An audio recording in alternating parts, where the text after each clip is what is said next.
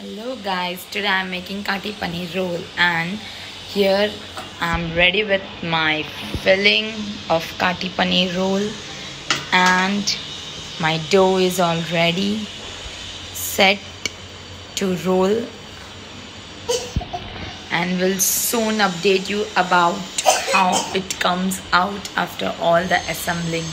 Stay tuned. An eternity later.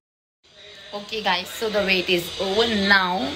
I'm all set to assembling and I've done to some extent.